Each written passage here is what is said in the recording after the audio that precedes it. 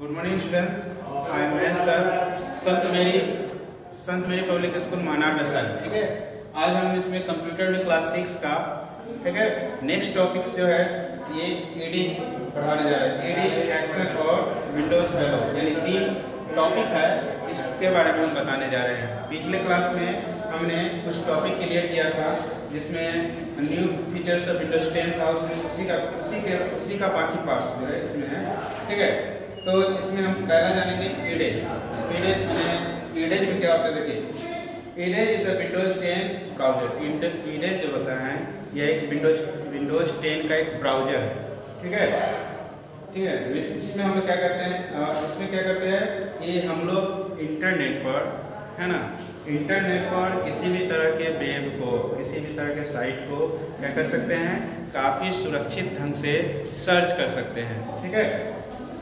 It also provide a regarding node mode to the open a web page है ना it also provide a regarding reading sorry reading mode that open a web page भी available कराता है web page ठीक है?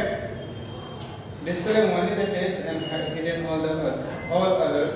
है ना? Distraction of example graphics email etc. जब हम वेब पेज पर ठीक है ना? कोई भी चीज़ सर्च करते हैं तो उसमें रीडिंग मोड तो रहता ही है, साथ में क्या होता है कि जितनी भी तरह का आपका ग्राफिक्स है इमेज है, सब इसमें आपको शो करेगा। नीचे जैसे ही सर्च करेंगे, उसमें शो करेगा।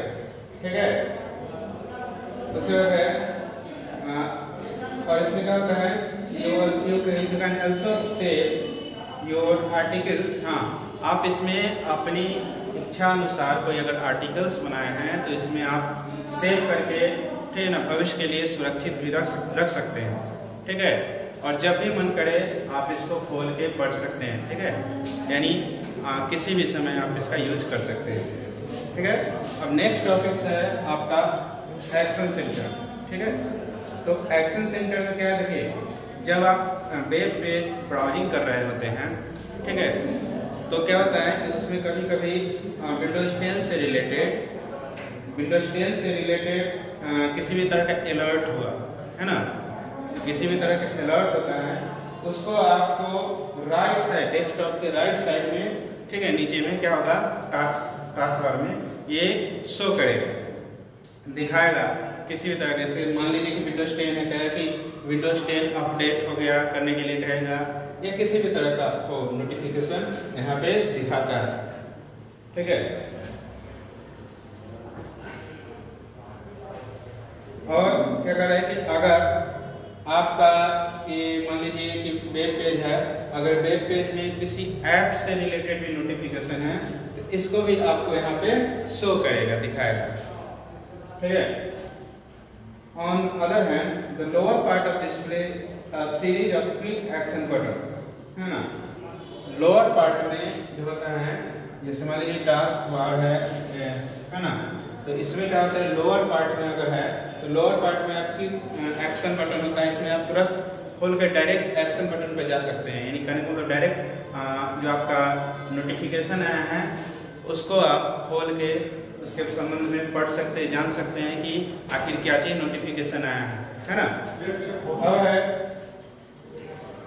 quick action button are a set of tiles that give access to frequently frequently usage setting and task कहने को कि एक्शन बटन जो होता है, ये क्या होता है? बहुत सारे टाइल्स का सेट होता है। कहने का मतलब एक तरह का सेटिंग होता है। ठीक है? सेटिंग होता है जहाँ पे जाके आप उस नोटिफिकेशन के संबंध में जानकर और उसका सही हल ढूंढ सकते हैं। ठीक है? The uh, buttons enable to perform action like adjust, adjusting the screen brightness, turning the Bluetooth on off, switching to tablet mode, etc.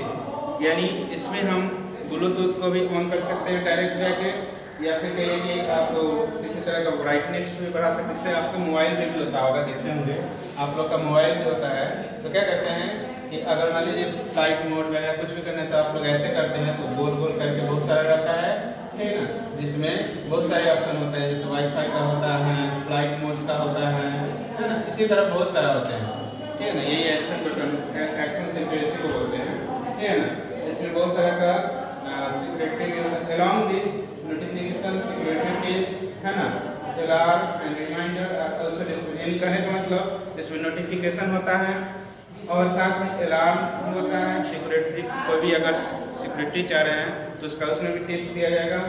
साथ में रिमाइंडर भी यहाँ पे डिस्प्ले होता है।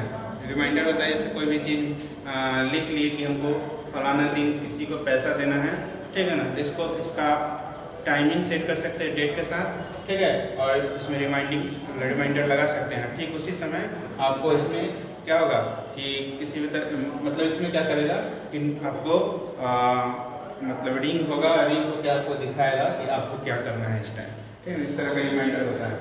ठीक है आगे है विंडोज़ हेलो विंडोज़ हेलो ये Microsoft Microsoft new in biometric security system for Windows ten Windows Hello जो है ये विंडोज़ टेन का है ना?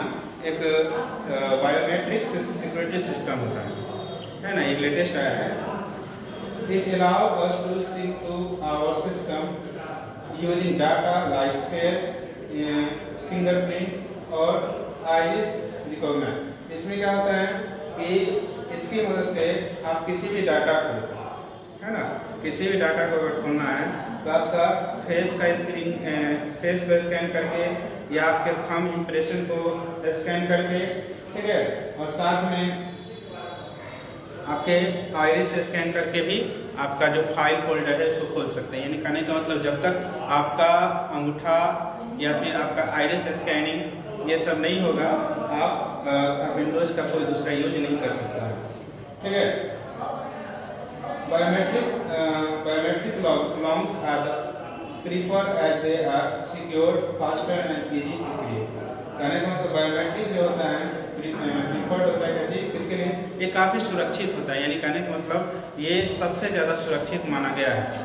बायोमेट्रिक जो सिस्टम है ये सबसे ज़्यादा सुरक्षित होता है। और इसको आसानी से आप क्रिएट भी कर सकते हैं। है ना? Windows Hello require appropriate hardware device to connected to the system proper work यानी अगर आप इस पर प्रॉपर सेल्फ आप काम कर रहे हैं, कोई काफ़ी इम्पोर्टेंस फ़ाइल या रिकॉर्ड्स आप इसमें रखे हुए हैं, ठीक है ना? तो आपके लिए ये विंडोज़ हेलो काफ़ी सहायक सिद्ध होगा, ठीक है? तो बच्चों, आज हमने तीन टॉपिक पढ़ा एक्शन सेंटर विंडोज़ हेलो और ये तीन ऑप्शन तीन टॉपिक्स को जाना है।